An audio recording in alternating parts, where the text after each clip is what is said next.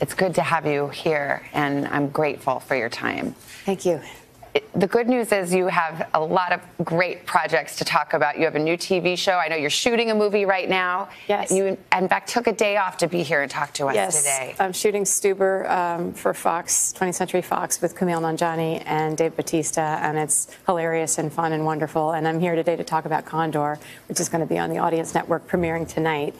Um, so yeah, things are going really, really well. There's lots to talk about, and and I want to talk more about Condor in a moment because I think people are going to be excited about what you're working on. But you know, not your fault, but you found yourself um, the subject of advances by Harvey Weinstein, the subject of retaliation by Harvey Weinstein, according to Peter Jackson, and um, your own experience. And I just wonder how you feel in this moment. I mean, he just was indicted by a grand jury. He's been walked into a police station, perp walked, mugshot, facing criminal charges. How does that feel after everything you've been through? Uh, it feels like a really good first step. You know, um, it's it's him finally facing real, real criminal consequences for his criminal behavior, and so for that, I feel gratified. But honestly, last weekend was a very emotional one. And I cried many times because just seeing him brings up a lot of bad feelings. And um, he's raped many people that I love. Um, so it's not really a happy occasion. I think maybe there will be some celebration when he gets convicted and goes to jail. That's when the process will be complete and we, we will see justice really being served. But until then, this is a great first step there are an array of allegations against him. I think that last count 95, 96, 97 women who've made varying levels of claims against him.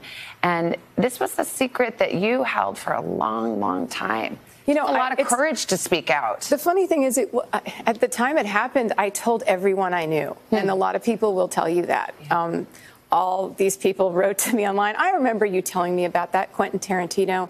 Um, uh, corroborated that I told him about it right away that September. Um, he said it in the New York Times article. So I told everyone I knew. No one said, "Hey, this is sexual harassment. You should you should go to the authorities. You have a case. You should go to the police. Maybe it's assault." No one said anything like that. Everyone was just kind of comforting about it, and I didn't really understand the law, and I didn't I didn't think I was important enough to make a big deal over. So I just kind of tried to put it to the side and keep working and, and go on about my life.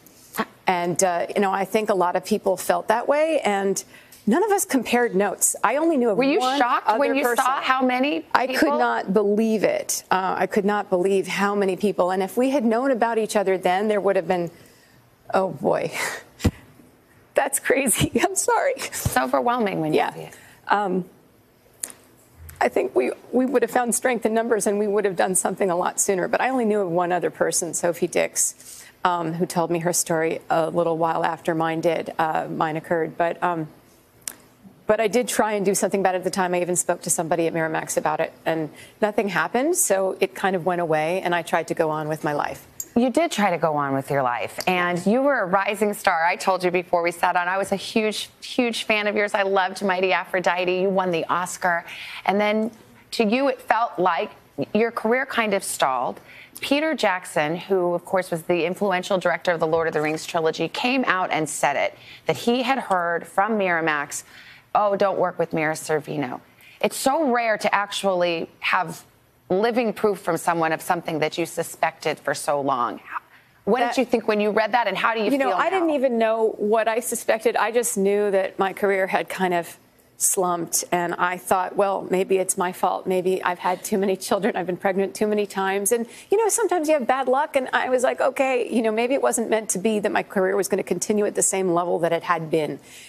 But that morning, to wake up and see Peter Jackson's tweet that he had blacklisted myself and Ashley Judd based on Harvey's, um, you know, telling him not to work with us. And then Terry Zwigoff the next day came out and said the same thing about Bad Santa. It was like a thunderbolt. It was kind of crazy. I was like, oh. So it was really this malevolent hand that changed the course of my life and my professional horizons. And look, I still have worked all these years and I've done great projects. Some of them have been lower profile, but I'm proud of all of them. I have the most amazing family in the world. I have four most beautiful, wonderful children and the most incredible husband who's starting his own series, by the way, this week for a major cable network that I can't talk about yet because it's not publicized, but, but he's a lead on this new show. So everything is going great for us now. And we probably wouldn't have met if I'd done Lord of the Rings. And I wouldn't have had my four beautiful children. So at the end of the day, I, I am fine with everything. But to know that this was done to me rather than it just being fate was kind of, um, kind of world rocking at the time. Um, but, you know, right now I'm really excited to be a part of this movement of Me Too and Time's Up and I'm working on promoting legislation in California, uh, four uh, bills that are among the strongest anti sexual harassment legislation in the nation. Uh, there's a hashtag take the lead if you want to find out more about them. They're about statute of limitation, about training workers in every organization that works in the state of California, about defining who can be a sexual harasser, not just your immediate boss, but all these other people that you have business relationships. In my business, that would be like a director, a producer, a casting director, an investor, because a lot of times investors go with this quid pro quo thing with female and male, you know, prospects and say, listen, I'll, I'll give you money for your project or your movie or your business if you if you play ball with me, if you have a sexual relationship with me. And that is just horrendous. But that's been the way it has been in this field, in every field, and in power forever. Men have raped and abused and harassed people weaker than them, people in positions subordinate to them. And I'm not just talking women, I'm talking men, I'm talking children, I'm talking trans people, non binary people, LGBTQ people, forever. Rape has been with us forever. And if we're at the cusp of this moment where all of this action, all of this legislation, but also this culture changing, where we're working with children, we're working with high school students, we're working with men to change the idea of what being a strong man is and how to not do this to people and for women and boys and girls to know their rights, then all of this will have been worth it in some crazy way. If, if culture is going to change and less people will be sexually assaulted because of this movement and this outcry among millions across the world, then it was all worth it. Well, Mira, you have um, you have said it so eloquently, and you are a voice in this movement now. And I know it's not easy. I appreciate you talking about it. And I, I, we're kind of out of time, but I do want to talk about your project yes, because Condor, it's Condor premieres tonight, tonight. So on just, Audience Network. Just tell us what, what it's about. It's based on three days of the Condor, uh, the you know Redford movie from the 70s, the iconic Sydney Pollack movie. But it's really a new iteration of it, and it's very topical. It's all about how people, individuals in the intelligence agencies, are really manipulating world events at like an unbelievable, deadly scale. And uh, this one man, Joe Turner, played by Max Irons, uh, who's Jeremy Irons' son, actually an amazing young actor, is the man on the run, being hunted. I, um, they I and a bunch of other people think that he's guilty of this group murder of 11 of his coworkers.